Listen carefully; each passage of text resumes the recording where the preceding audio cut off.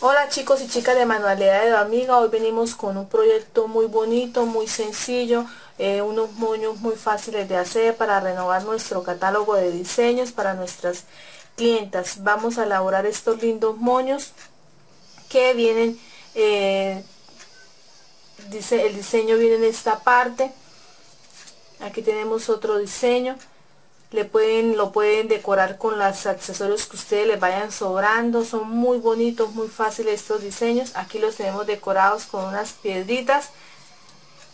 Estas piedritas las venden en los almacenes de manualidades vienen en todos los tonos.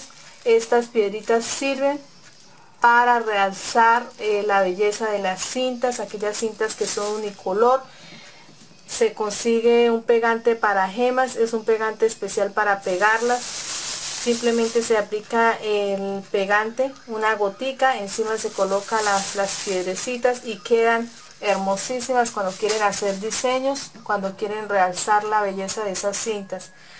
Aquí vamos a hacer eh, un moño mucho más grande de los que tenemos aquí de mostrario. Estos tienen 3 eh, centímetros de ancho la cinta el tamaño y el largo si ya lo, lo deciden ustedes dependiendo como lo quieran. Aquí tenemos una cinta de 7 centímetros de ancha.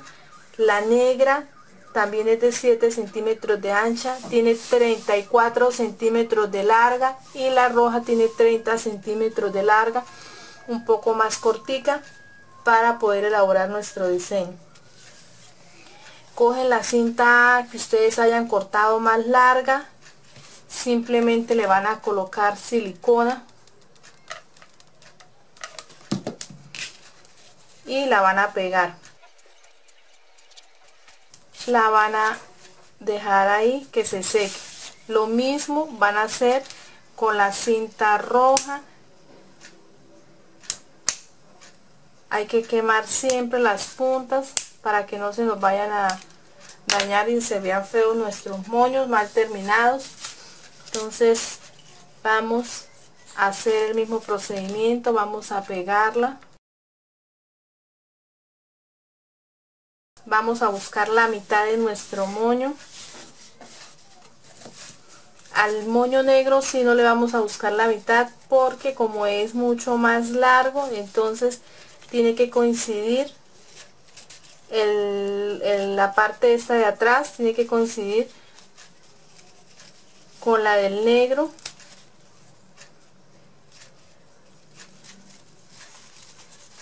Para que no se nos vaya a ver dobleces en ningún lado sino a la vez que vamos a recoger el moño tiene que coincidir el mismo lado para que cuando tapemos no se nos vayan a ver el pegue de las cintas.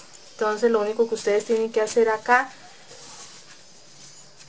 es sobreponer el moño más pequeño encima del grande va a quedar acá una diferencia que es lo que queremos.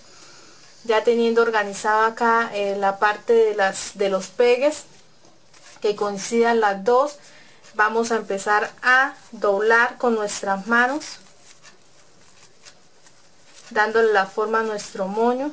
Aquí lo hemos hecho fácilmente. Si ustedes se les dificulta con la mano lo pueden hacer con aguja hilo. Acá tenemos un hilo que, que vamos a pasar por el centro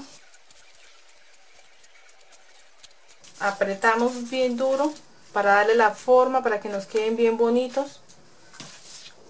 Cortamos el excedente del hilo y aquí ya tenemos nuestro moño ya formado bien bonito. Entonces vamos a colocarle en el centro. Utilizamos una cinta mucho más delgada que las que hemos utilizado. Este tiene 3 centímetros de ancho. Vamos a hacer un nudito. Listo vamos a pegarlo en el centro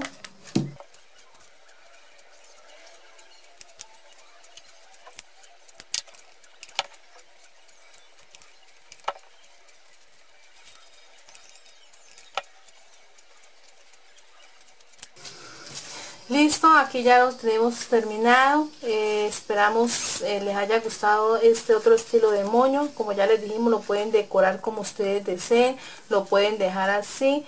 Esperamos les haya gustado esperamos sus comentarios. Hasta una próxima oportunidad